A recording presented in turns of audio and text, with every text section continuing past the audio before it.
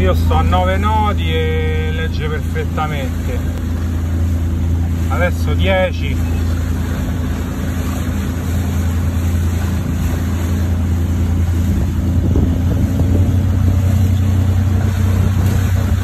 11 11 e mezzo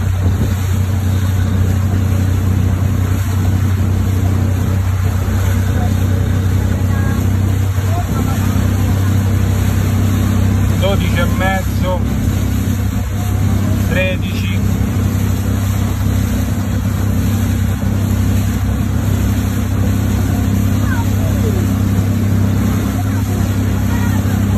13 e 6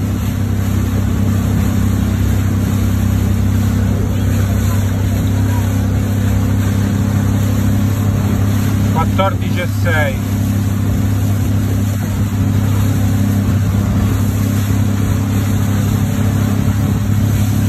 dirigir.